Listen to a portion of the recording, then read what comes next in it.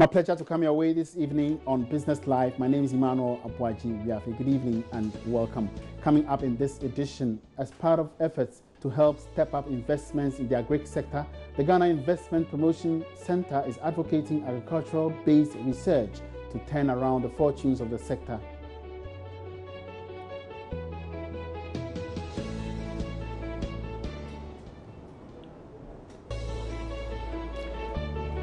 Some bank treasurers and expect the planned dollar auction by the Bank of Ghana to significantly stabilize the Ghana cedi.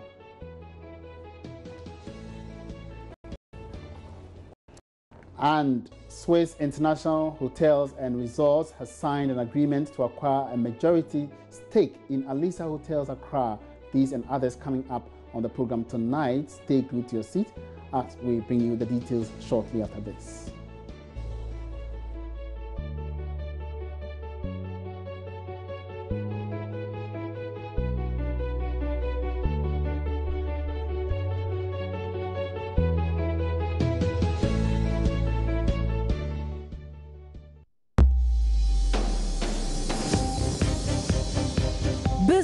Live today is brought to you by GCB Bank.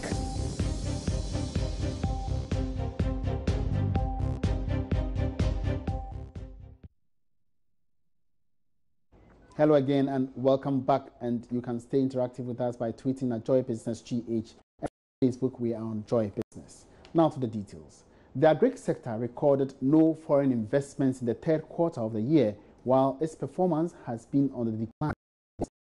As part of efforts to step up investments in the sector, the Ghana Investment Promotion Center is advocating agricultural-based research aimed at turning around the fortunes of the sector. The need for an agricultural investment plan that will yield meaningful returns to the economy has become crucial. Statistics indicate growth in the agricultural sector has declined over the years, recording a growth of just 0.04% in 2015 from 4.6% in 2014. The poor performance could also be attributed to relatively low foreign investments.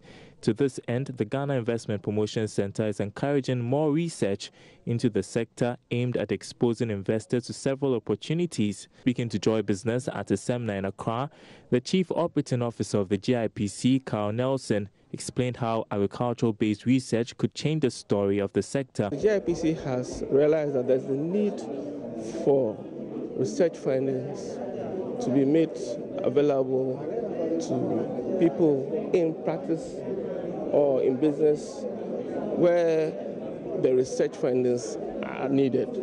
Now, we also realize that researchers themselves need to be informed about the issues that crop up in business, issues on which they can search for problem solving or for improvement in right? So we realize that because of that, we have part of our functions being to facilitate and promote business for the development of the economy of Ghana.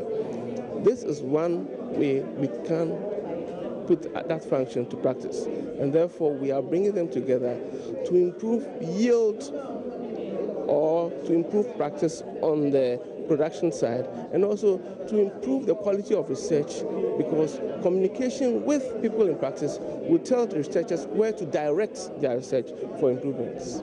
Meanwhile, senior research scientist at the Council for Scientific and Industrial Research, Dr. Grace Balfrey Aku, is calling for more support to enable agricultural research scientists come out with appropriate information that will be beneficial to investors. We believe that entrepreneurs, government, and other stakeholders should invest in agriculture. You know, in our research findings, they should invest and use it, outskill, you know, and promote them. That is only when the economy would grow. That is when we look at it at the uh, value chain. When it comes to production, what goes into production? We have transporters there, we have the packages there and then there will be all these buy industries that will come out. The seminar was under the theme Research Findings and Investment Opportunities in the Agricultural Sector. And in another development, the Ghana Investment Promotion Center has, in its third quarter investment into the country report, recorded $241 million. The following report finds out whether this level of interest generated in the country, despite the upcoming elections, has impacted on investment attraction. According to the Ghana Investment Promotion Center GIPC, the total value of investments from July to September reached $241 million. This is what it got for some 46 projects registered with the center. However, compared to the same period last year, this actually marks about 70% reduction in the $820 million secured in the third quarter of 2015. Investments brought in by foreigners for the third quarter of 2016 reached $235 million. But when you compare this amount to the same period in 2015, it actually represents a 59% reduction in foreign direct investments. The projected jobs that gone down by some 75% compared to the same period last year. But the center has maintained that if you compare the investment numbers so far to the same period in 2015, it supports claims that the election has not impacted negatively on capital attraction. Away from that, some bank treasurers and currency dealers say they don't expect the planned dollar auction by the central bank to significantly stabilize the Ghana cedi. The Bank of Ghana will, from this Wednesday, start selling part of the cocoa loan syndication to commercial banks. But why are some of the banks not that optimistic about this. George Rafi has more. According to some commercial banks, their concerns are based on the fact that the amount of dollars the Bank of Ghana is putting out is not enough to meet their demand. For instance, one of the top tier banks which is participating in the auction is looking for $20 million to meet the needs of their customers for this week. However, according to the auction rules, entitled to $4 million, which they say is woefully inadequate. Some of them have also told Joy Business that if the current challenge is really a demand from corporate institutions, then just meeting a fraction may not be enough to completely address the problem, but just slow the pace of depreciation on the forex market rather than completely halting it. Some of the banks have told Joy Business that on the average, they would need about $100 million a week. The regulator, on the other hand, have argued they are being strategic with the release of the $1.8 billion cocoa loan syndication to banks so that they don't end up depleting all their reserves. The central bank is planning to sell $20 million this Wednesday, another $20 million on December 14, and the final tranche will be done on December 28. The Bank of Ghana is planning to carry out this cocoa loan syndication auction every quarter to meet the needs of all the banks over a period. On Business Live. Now, revenue from gold exports in the, into the economy is expected to reach over $4.5 billion by the end of this year. This comes as the contribution from the commodity, which was pegged at $3.3 billion, have exceeded by about 73 percent in spite of the challenges with gold prices on the international market. This was disclosed at this year's Ghana Mining Industry Awards. Kuku Aban was there and our reports. The award ceremony, which was second in the series, saw Newmont Ghana Gold, Ahafo Mine, see off eight other mining firms to clinch the prestigious Company of the Year award. The company's outstanding corporate social investments, environmental management, innovation, among others, did the trick.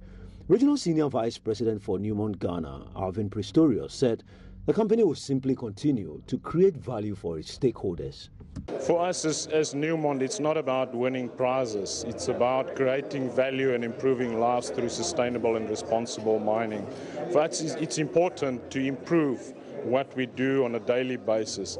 And that's how I see our business going forward. We want to create value for all our stakeholders, stakeholders, uh, governments, communities surrounding our, our, our, mines, and that's how we see our business. The best performer in mine supplies and support services went to PW International, while Asanko Gold grabbed the Corporate Social Investment Project of the Year award. Best performer in local content was picked by Adamus Resources, whereas the best performer in exploration went to Cape Coast Resources. Best performer in innovation was picked by Newmont Ghana Gold with Chirano Gold Mine grabbing the Occupational Health and Safety Best Performer Award. The Best Performer in Environment and Management was jointly won by Newmont Ghana Gold, Akyem Mine, and Chirano Gold Mine.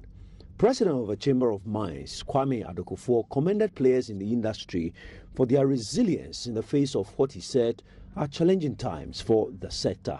He, however, underscored the need for stakeholders to support the Minerals Commission in addressing the menace of galamsey operations in the country. In the face of these very difficult times, companies have been resolute in making the operation, keeping the operations afloat, relevant in Ghana's economy. A recurring challenge to the industry, the upside, the activities by the Chamber is in full support of the Minerals Commission first to mainstream and formalize the activities to ensure that Ghana optimizes benefits from subsector while managing adverse Deputy Bank of Ghana, Johnson Asiamah, was full of praise of the mining sector, saying it still contributes the largest to the economy. $4.5 billion, he noted, is expected from gold exports by the end of the year. The development, he says, is helping the country balance its payments. The mining sector continues to repatriate significant amounts of its export earnings.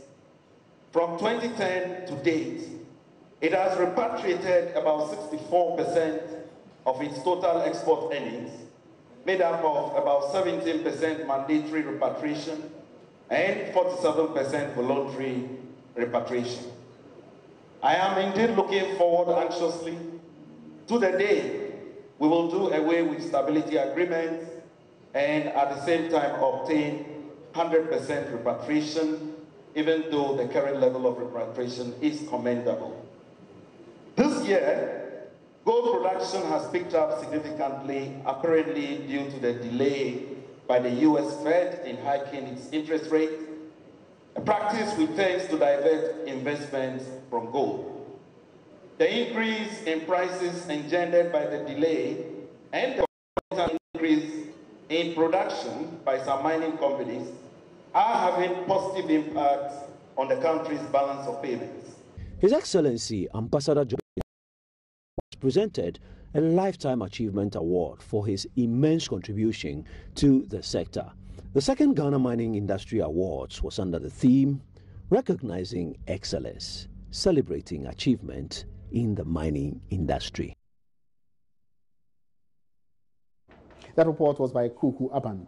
Now, the Deputy Minister for Tourism, Culture and Creative Arts, Dzifa Gomashie, is urging the youth to be more innovative in helping to bridge the unemployment gap a recent report by the World Bank on jobs in Ghana revealed that about 48% of the youth in the country between the ages of 15 and 24 years do not have jobs. But in an interview with Joy Business, Deputy Minister for Tourism, Culture and Creative Arts, Dzifa Gomashie, said the youth must step up their efforts to help create their own jobs. When you've gone to university, you've gone to attain higher education, and you should not acquire that and sit down and only before you can work.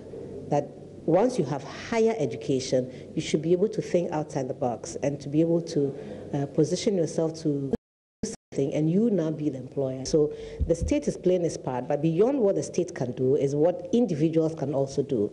The stories about of individuals who have um, excelled in their countries um, and they are, they've worked for themselves. You have your, in Africa, you have your Dangotes. In Ghana, you have your um, uh, Despite. He's, he's, he's, an individual. See how many businesses he's grown. So really, I think that is a state of mind. Is is is what you, you, you, you recognize as your strength or your weakness and using it for, to your advantage and to the advantage of your community.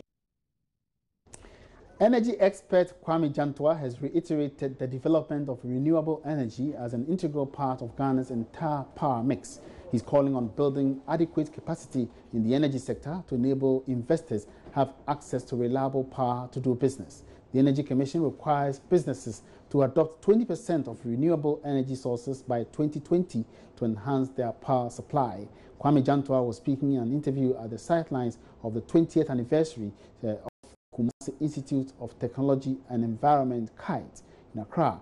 It was under the theme two decades of leadership in facilitating access to sustainable energy environment.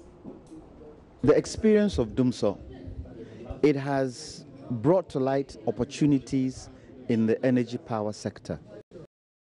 Energy, one of the opportunities is renewable energy. I think renewable energy should be an integral part of our power mix. In so doing, we need to be able to build capacity in that area so that Ghanaian entrepreneurs who are interested in the power sector can take it up. What areas are we talking about?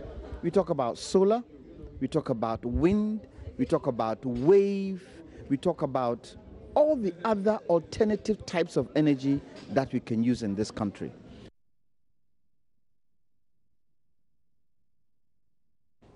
You're watching Business Live. We're taking a quick breather here. We'll be back.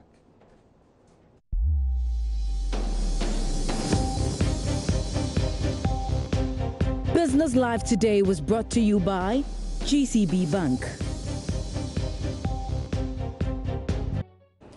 All right, so welcome back to Business Live. And Beta, our research analyst, has just joined me in the studio to explore uh, the stock markets as well as some issues about uh, the shares and commodities and and she will start by recapping how the stocks performed last weekend. And Beta, you're welcome. Thank you very much. So, how did the stocks go last week before we ended the Okay, um, let me say last week was not a very good week for us on the stock market. Uh, we had eight equities losing as compared to only two equities gaining on their previous week um, share prices. And if you look at the major indices, that's the composite index and the financial stock index, um, probably, and I'm so certain about this, that uh, this is going to be one of the worst returns that we're going to return, uh, record for the composite index and the financial stock index for the past five years. Wow. Yes, because um, we have the major indices going down by more than 50 points last week on their previous levels. And you look at the year-to-date return, the composite index closed at negative 18.54%, uh, and then the financial stock index closed at negative 24.39%. And what would be the reason for this? Uh, this because most prices or most equities are losing, or let me say, are shedding off uh, some year open prices. Now, if you go to the stock market and you're looking at the year-to-date returns, that's how much each equity has returned to investors, almost all, except, uh, except two. That's um, Standard Chartered Bank preference share, which is returning 5.63% to investors, and then FML, which is returning about 50% plus to investors. They are the only two equities that are currently return, returning the most to investors. All other equities are either returning 0.00% or negatively to investors. And the one that has lost the most so far from the beginning of the year till now is mm. UT Bank. UT Bank started the year at 10 pesos per share and it has shed off um, 7 pesos and currently trading at 3 pesos per share. Wow. And lately we've been seeing uh, block trades going on in UT Bank, we don't, but we don't see that um, appreciation in terms of its price or positively moving its equity on the market. Mm -hmm. And the reason, the main reason is that investors don't know what is happening with UT Bank because from 2015 full year till date, we haven't had a clue of the financial position of the company because it has not been released. Is it because the, the company is not actually it's doing obvious. well? Yes. If you look at their first quarter financials and even first half of 2015 and third quarter of 2015, they were recording losses. That's losses after tax. Mm. But if you look at the first quarter and third quarter, they had reduced the margin of losses that they were recording. But from 2015, we haven't had a clue of how the company is performing. And that is what is actually um, reducing investors' confidence in the equity because mm. you don't know the financial position. And you know, it is that that will also, also tell them the future growth of the company, mm. looking at their earnings per share, what profits is the company going to make in future. So, so when a company goes through this kind of cycle, Mm. Is it an indication that it is time to go out of business or perhaps no. merge with another company? It's, it falls within an industry and it needs to be protected. So it's not um, a time for them to fall out. The only thing they have to do is to re-strategize staffs mm-hmm. and if it is the administrative level, if it is the human resource, if it is the staff or even the last, the floor members, -hmm. then they need to do something about it.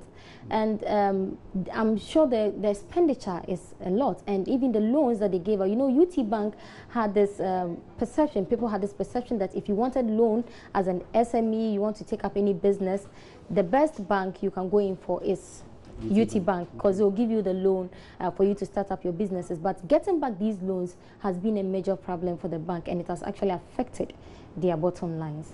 All right. So, any other information on? on yes, we also had FML. Fan Milk. Farmwork um, is one equity that I'm so interested in, because and I don't regret. It's not the product, but it's for the fact that times where we had so much energy crisis, the company took up certain strategies to um, come up with, uh, do some of their production and businesses outside Ghana mm -hmm. to cut down costs. And you know, it's helped them make profits despite the fact that the country was not doing very well. Okay. And you know, it is one equity that is standing out uh, among the lots of manufacturing equities that we have on the stock market. And it is one equity that is returning much to investors. Now, if you look at FML, um, it lost two pesos last week, but um, this two peso gain that it's this two peso loss that was lost was something little. Because okay. within the previous week, FML had jumped from 9.83 Ghana cedis to about 11.30 Ghana cedis, and it lost two pesos, and it closed at 11.28%, and still a very good um, equity when it, you are talking about returns on the stock market. So FML is also one good equity on the market. Yeah. All right, thank you very much, uh, Beta, for that update. And you can count on Beta to bring you up-to-date information on the stock market, uh, stock market analysis, uh, the commodities, the equities, as well as the currencies and the various developments on the market. It's now time for the interview of the day, and currency dealers and treasurers of commercial banks are challenging claims that the has been influenced by activities of speculators. Some government officials and even the Bank of Ghana have argued that the current depreciation has been fueled by activities of persons who put out information that will lead to the cedi's depreciation so they can cash in on that. But president of an association made up of bank treasurers and current Amagati, disagrees.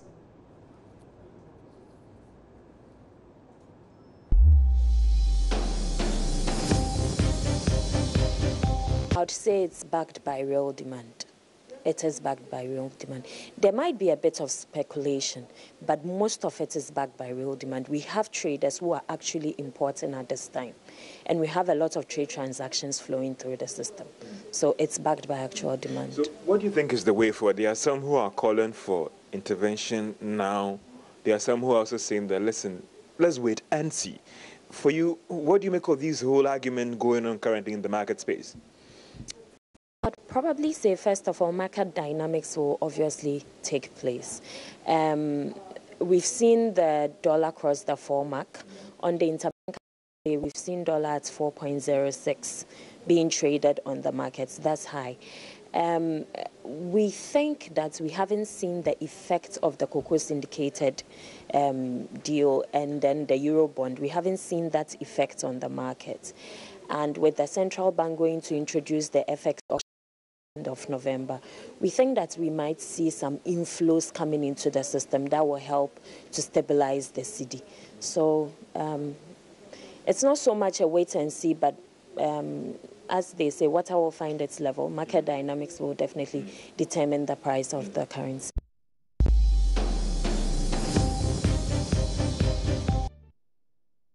It's a wrap on the show tonight. Many thanks for your time and your company. You can always stay interactive by tweeting at us. Joy Business is our page. And on Facebook, we are on Joy Business. For more business information, log on to myjoyonline.com slash business. My name is Emmanuel Abuaji Wiafe. Join me again, same time tomorrow for more interesting developments in the world of business. Good evening and stay healthy.